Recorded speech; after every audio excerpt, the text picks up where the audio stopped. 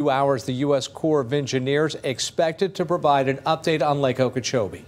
The Corps is expected to start harmful water discharges later this summer. It comes as Congressman Brian Mast is drawing a hard line against those discharges that often contain harmful algae that flows from the lake and into communities on the Treasure Coast.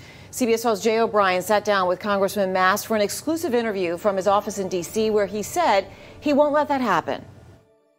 They're not going to poison us. Congressman Brian Mast defiant, telling the Army Corps of Engineers no more discharges of water out of Lake O. Just as many are left wondering if the Corps will decide to let loose some of that water as the lake's levels get higher.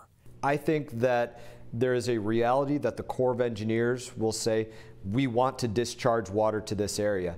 This is the reality the Corps of Engineers should understand we are not going to take their toxic water. They should think of this like a Twisted Sister song.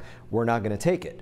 His comments come as dense, toxic algae is only growing on the lake. They don't want this here in Pahokee. Mast saw the issue firsthand a few weeks back in Pahokee. But all of a sudden, it, it, hit me like I walked into a wall. I could smell it. I could taste it. I, I, was literally having to spit, you know, spittle coming out of my mouth because it was so gross in there.